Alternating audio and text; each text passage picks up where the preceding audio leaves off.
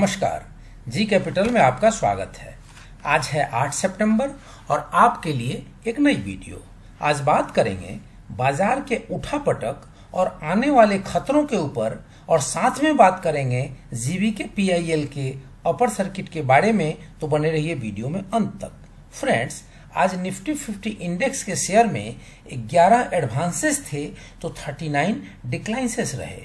Overall पूरी Nifty 50 index pressure में दिखी और खास करके तब जब ट्रेडिंग सेशन के लास्ट के एक घंटे बच गए थे। फ्रेंड सुबह कमज़ोरी के बाद बाज़ार में मजबूती आई और काफ़ी ऊपर तक बाज़ार गया, लेकिन लास्ट का जो सेशन जैसा मैंने बताया, उस समय पूरी ही पूरी बियर्स हावी हो गए और इस प्रकार से मार्केट में बहुत बड़ी गिरावट देखी गई और इस प्रकार से पॉइंट थ्री थ्री परसेंट के आसपास मार्केट में कमज़ोरी आई। और अगर ओवरऑल बाज़ार की बात करें तो वहाँ भी अधिकतर कंपनियों के शेयरों में बिकवाली या मुनाफा वसूली का दबाव था।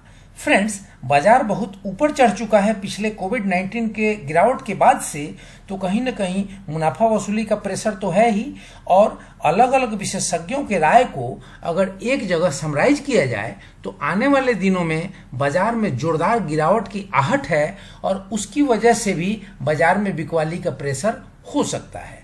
इन सभी परिस्थितियों का आकलन करते हुए किसी भी आक्रामक निवेश से आपको बचने की सलाह दी जाती है। अपने पैसों को आप अच्छे अवसर के लिए संभाल के रखें, ऐसी सलाह दी जा रही है। तो फ्रेंड्स, ये तो रही बाज़ार के उतार चढ़ाव की बातें। अब बात करेंगे जीवी के पीआईएल के प्राइस मूवमेंट की। तो आपको पता है कि इसके कर्जों को अदानी ग्रुप द्वारा टेक ओवर करने के बाद इसकी एयरपोर्ट बिज़नेस अदानी ग्रुप के अंदर में चली जाएगी और जीबीके पीआईएल के अन्य कारोबार को एक डेप्ट फ्री कंपनी के रूप में चलाना आसान हो जाएगा, ऐसा अनुमान किया जा रहा है। क्योंकि हकीकतन इस डील का जीबीके पीआईएल कितना लाभ उठा पाएगी और एक डेप्ट फ्री कंपनी के रूप में ये कितनी अच्छी परफॉर्मेंस करेगी, यह तो भविष्य के गर्भ में छिपा है। वैसे, इस डील के खबरों से लेकर अब तक जीवीके पीआईएल के शेयर प्राइसेस लगभग 90 परसेंट के आसपास तक उछल चुके हैं और इसमें मोमेंटम जो बनी हुई है, उस मोमेंटम को अभी भी आगे बने रहने के स्पष्ट संकेत मिल रहे हैं। अगर इसके हिस्टोरिकल डाटा को देखें तो चीज़ें और स्पष्ट होती दिख रही हैं।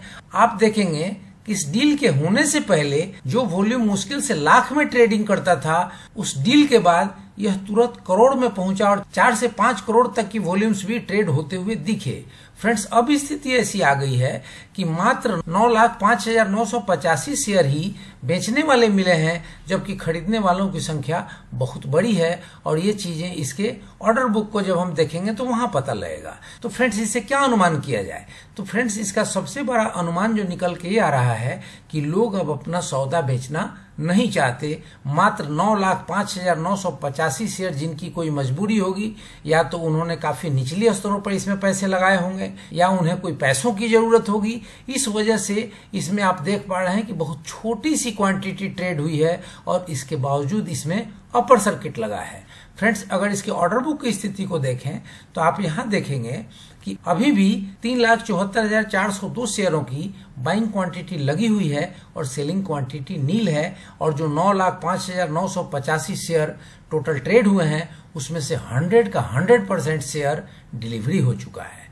तो फ्रेंड्स परसेंटेज ऑफ़ डिलीवरी और सेलिंग क्वांटिटी का कम होना, यहाँ तो नील है, लेकिन ओवरऑल पूरे दिन के अंदर इतने अपर सर्किट के बावजूद भी कोई सौदा नहीं बेचना चाहता है, बहुत कम क्वांटिटी में सौदे निकल रहे हैं तो इसमें कहीं ना कहीं आने वाले दिनों में इसके मोमेंटम को बने रहने के संकेत दिखा रहा है। तो फ्रेंड्स ये तो रही इसकी ऑर्डर बुक की स्थिति। और फ्रेंड्स एक बार इसके प्राइस मूवमेंट को प्राइस चार्ट पे देख लें तो आप यहाँ देखेंगे कि जो आरएसआई का वैल्यू निकल के आ रहा है, वो निकल के आ रहा है 76.30 और एमएससीडी को देखें तो जो इसमें बुलिसनेस दिख रहा है, वो लगातार बना हुआ है। तो फ्रेंड्स यहाँ से तो संकेत मिल रहे हैं प्राइस में मजबूती के, लेकिन एक जानकारी आपको होना बहुत आवश्यक है कि इस प्रकार के जो पेनी शेयर हैं और इस प्रकार के शेयर जो लगातार इसमें अपर सर्किट लग रहा हो या लोअर सर्किट लग रहा हो तो उसमें टेक्निकल बहुत हद तक काम नहीं करते और इसलिए इसमें भी किसी भी टेक्निकल के आधार पर कोई भी निर्णय लेना मुश्किल होगा। लेकिन जो प्राइस के ट्रेंड और प्राइस की बिहेवियर बता रही है, वह यह बता रही है कि आने वाले दिनों में इसमें अभी अपर सर्किट की मोमेंटम बनी रहनी चाहिए। किंतु यह एक अनुमान है और यह अनुमान बिल्कुल गलत सिद्ध हो सकता है। तो फ्रेंड्स ये रही इसके प्राइस मूवमेंट की बात। अब फ्रेंड्स बीच में एक चीज़ और आपको याद दिला दूँ कि अदानी समूह के साथ होल जीवीके पीआईएल के अधिग्रहण की उड़ती खबरें भी बाज़ार में फ्लोट कर रही हैं। इस तरीके से जीवीके पीआईएल के प्राइसेस के अपसाइड मोमेंट की मोमेंटम में मदद मिल रही है। तो फ्रेंड्स हो सकता है कि यह भी एक कारण जीवीके पीआईएल के प्राइस मूवमेंट को सपोर्ट कर रही हो। इन बातों को भी आपको कंसीडर करके चलना है। फ्रेंड्स अगर इस कंपनी में इन्वेस्टमेंट की बात करें तो इन्वेस्टमेंट चेकलिस्ट को अगर देखा जाए तो आप यहाँ देखेंगे कि इसकी इंट्रेंसिक वैल्यू का कोई सफिशियंट डाटा नहीं है और friends returns versus FD rate के ऊपर भी निगेटिव है कि एफडी के जितना रिटर्न भी नहीं देता। डिविडेंड रिटर्न्स के ऊपर है कि stock does not offer attractive dividend returns entry point के लिए है कि not a good time to invest stock is in overbought zone और friends red flag found stock in ASM list and high default probability तो investment checklist को अगर देख करके हम इन्वेस्टमेंट की सलाह देना चाहें तो इसमें हर एक पैमाने पर इसमें इन्वेस्टमेंट में रिस्क दिख रहा है। तो फ्रेंड्स आपके साथ रहा एक पीस ऑफ़ इन्फॉर्मेशन इन सारी चीज़ों को एक बार आप खुद एनालिसिस करें, आप खुद एक बार इसमें रिसर्च करें और उस रिसर्च और उस एनालिसिस के आधार पर ही कोई निवेश संबंधी फाइनल निर्णय लें।